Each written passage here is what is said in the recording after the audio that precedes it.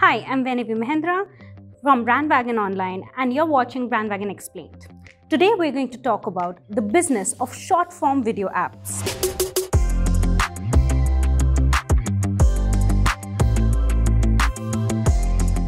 Online video consumption has seen a tremendous growth over the last few years, with a surge in users bolstered by prolonged stay at home periods during the pandemic.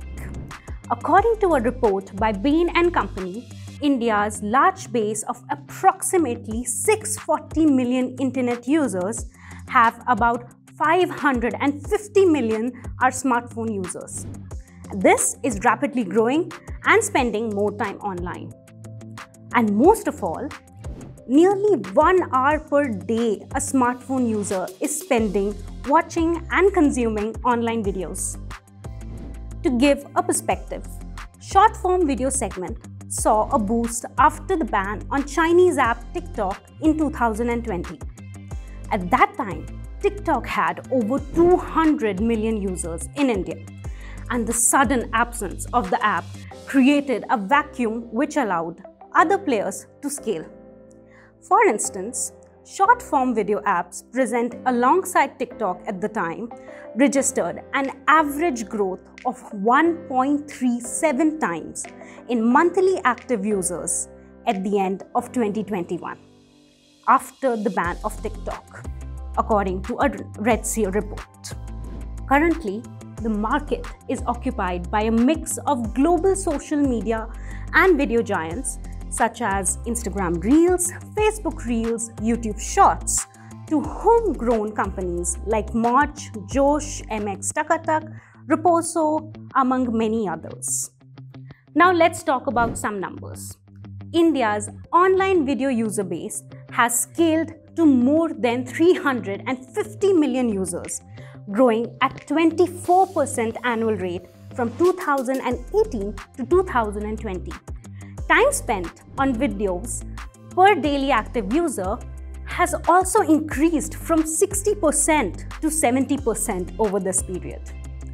Despite this rapid boom, there exists a massive headroom for growth, something these apps are now experimenting with.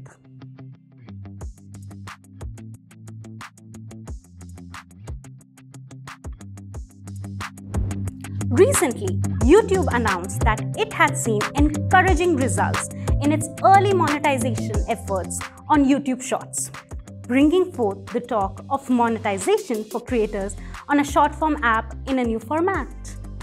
Currently, monetization on a short form app takes place in two formats brand sponsorships and advertisements. In brand sponsorships, brands tie up with content creators and influencers to run paid promotional campaigns or videos to garner greater reach from the influencers community. On the other hand, influencers also end up gaining more followers from the brand's existing followers on the medium. As for advertisements, apps place skippable and non-skippable ads in between videos.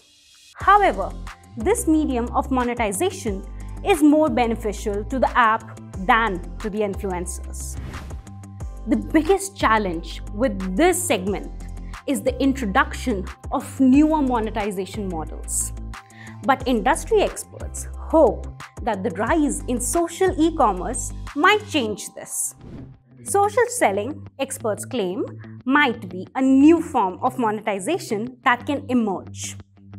To give you a little perspective, according to Redseer, four key factors will drive the growth of short form video apps in India. And these factors are video commerce to assist shoppers and well versed, not well versed with tech, growth of D2C brands, intimate connections with macro or micro influencers, and local sourcing and of low products, average order value. It is estimated that of the $4 billion total live commerce gross merchandise value will become to 2025. Short form live commerce will be approximately 2.5 to 3 billion dollars GMV with virtual gifting emerging as a new monetization opportunity. However, social selling has been experimented with in the past by some of the apps.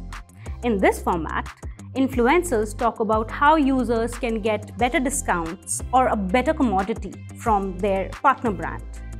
While it has been experimented with, it hasn't really seen encouraging results as of yet.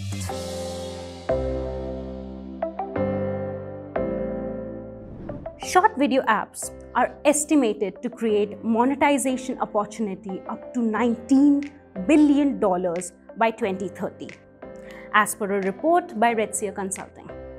Currently, only 1% of the overall digital advertising spends accrue to short form video apps.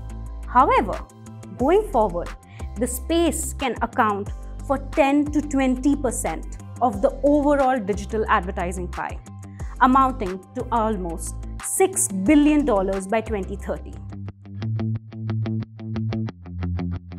This means that sooner or later, short form video apps need to come up with new formats of monetization for the creator community, which extends beyond brand sponsorships and advertisements.